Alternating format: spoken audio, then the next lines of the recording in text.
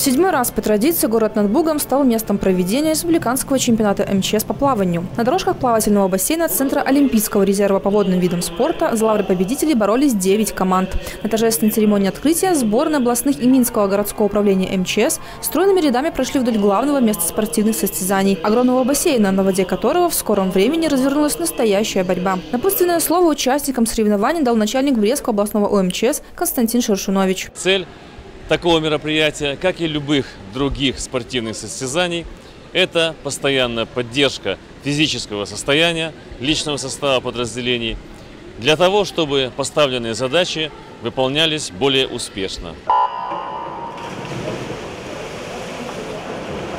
Таких грациозных прыжков началась нешуточная борьба за звание чемпиона МЧС республики по плаванию. Кстати, в этом году в соревнованиях появилось приятное новшество. Среди представителей мужского пола за чемпионский титул сразились и девушки. К слову, команда Брестской области – яркий пример такого очаровательного нововведения. Две недели назад я представляла Пинский город отдел по чрезвычайным ситуациям и э, по результатам области я заняла, э, показала лучший результат, заняла первое место. И вот сейчас э, представляю э, нашу область Брестскую. Какие надежды вообще подает команда Брестской области?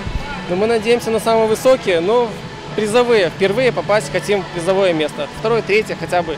Это было бы здорово. Но вообще только выиграть хотим. Интрига соревнований разрешилась спустя два дня. По результатам чемпионата общекомандную победу одержала сборная Могилевского областного ОМЧС. Вторыми стали пловцы республиканского отряда специального назначения. На третьем месте пьедестала хозяева брестские спасатели, которые стали обладателями заслуженной бронзы.